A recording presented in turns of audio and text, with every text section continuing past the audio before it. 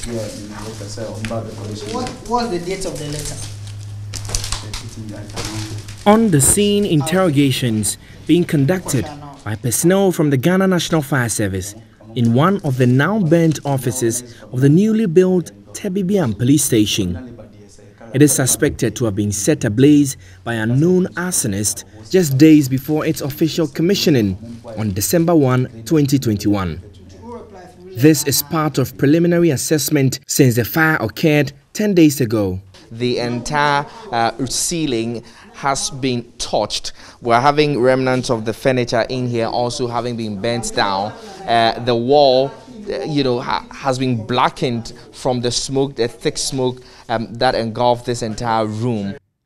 Assemblyman for Kweku Pamfo electoral area, Jonas Tenge, explains how the station was to keep a leash on a series of violent crimes in the area. The security issue is not good over here. We have the issues of Langard, winning, and I can also say that even killing of human being, it occurred twice. The first one occurred somewhere 2011, and recently 2019, they killed somebody over here. But you will be there, and then people will come and attack a community, and then they will beat them. So because of that, we call on the municipal to commission this police station for us. And many of the residents here are shaken. They do not know what or who will be the next victim. We are all afraid because all the people, all of us, are like we are inside. the reason why I'm afraid is my shop is very near to the police station. If people can burn the police station, they can also come and burn my shop because we don't know what we does to them. Uh, some killing around this Kwakopamfo. We fall on Amasaman before they came and took the dead body. So that was the reason why we thought if uh, uh, the police station, which is, is our uh, security to benefit, and uh, even it means we, some people don't want the police station to come on. It means uh, we are at in danger.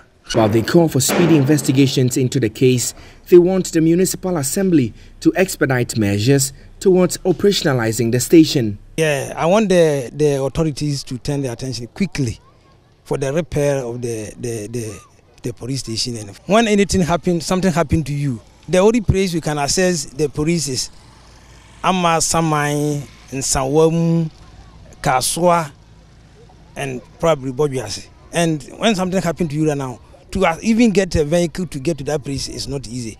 So for this thing to be open and be used, will go a long way to help with the the people here.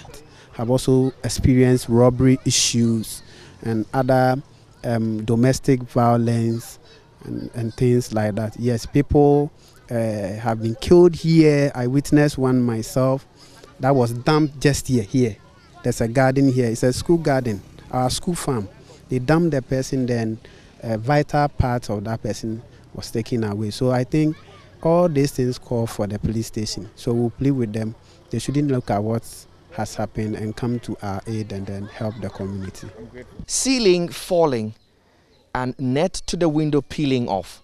That's what's left with the most affected room in the suspected case of arson at the police station of Tenbibian after waiting for close to a decade for this police station to be completed.